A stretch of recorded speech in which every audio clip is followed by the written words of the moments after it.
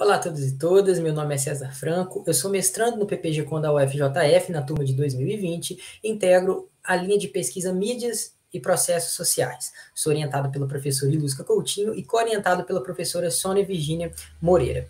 O trabalho que eu desenvolvo no mestrado tem como título Deserto de Notícias na Zona da Mata Mineira, Produção e Carência de Informação Local.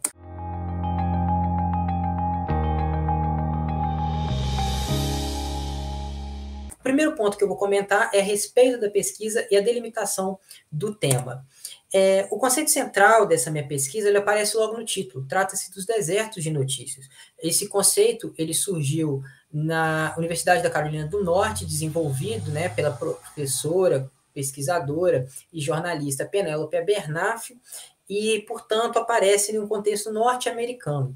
Mas trata-se basicamente de localidades que não possuem veículos de comunicação local.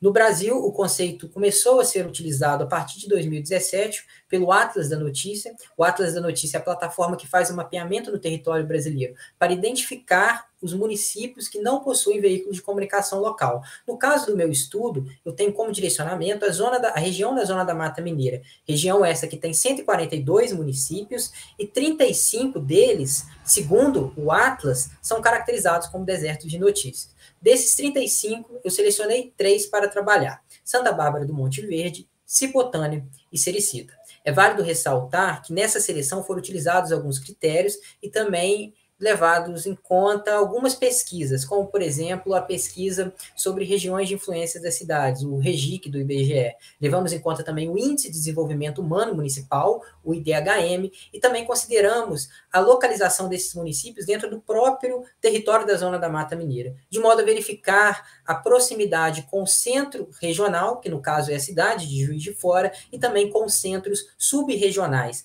que são as cidades de Ubá e Muriaé dos objetivos, metodologias e revisão de literatura.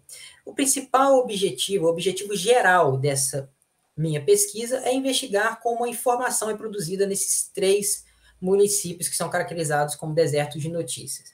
Não só a produção, mas também a circulação de informação. E desse modo se desdobra né, nos outros objetivos, como, por exemplo, identificar se os municípios é, é, os municípios minha, que está em foco nessa minha pesquisa estão representados nas empresas de mídias da região, averiguar também né, quais os critérios de noticiabilidade em possíveis conteúdos localmente produzidos e se esses se esses conteúdos, se essa produção pode se caracterizar como jornalismo local e averiguar também as consequências da pandemia.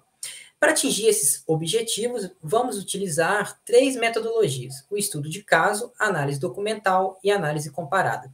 No estudo de caso, três fontes de evidências: registros em arquivos, documentos, entrevistas e aplicação de questionário.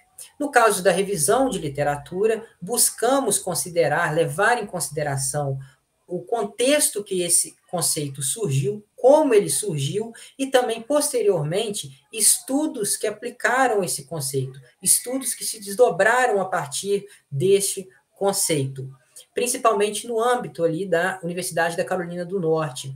A Universidade da Carolina do Norte, que tem o Centro é, de Sustentabilidade, sustentabilidade é, em mídia local, publicou é, relatórios anuais a respeito né, desse, desse conceito. Mas, para além de levar em conta esse contexto e como surgiu, também buscamos é, considerar produções científicas brasileiras que se utilizaram dele, de modo que aponte caminhos, critérios, é, fatores que devem ser considerados na sua aplicação no território brasileiro, tendo em vista as diferenças né, entre os países e o Brasil, que tem um território vasto e, e, e diversas particularidades.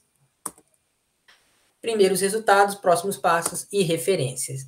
O, essa pesquisa ela se encontra em um processo de transição né, para, o, para a pesquisa de campo. O projeto de pesquisa está em trâmite no Comitê de Ética, é, tendo em vista que eu pretendo realizar entrevistas com produtores de informação, informação e jornalistas, não só nesses possíveis municípios, mas também que trabalham na região, aplicar o questionário com residentes desses municípios e organizar né, esses dados iniciais. Os caminhos iniciais, os resultados, foram justamente dessa, desse levantamento bibliográfico, que nos mostra né, é, elementos que são relevantes, como a rede urbana, a hierarquia das cidades, influências das cidades, também plataformas necessárias, né, como o Atlas da Notícia, que é um, um passo inicial, mas também que deve ser levado em conta outros fatores, né? E, e para isso é muito importante o REGIC, o Atlas do Desenvolvimento Humano no Brasil, assim como alguns bancos de dados e plataformas. E também fizemos já alguns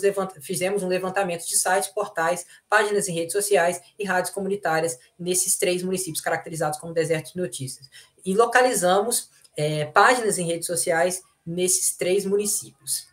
Aqui está algumas referências que utilizei nessa minha breve apresentação. Eu agradeço o PPG-Com pela oportunidade e caso alguém queira entrar em contato comigo, está aí o meu e-mail.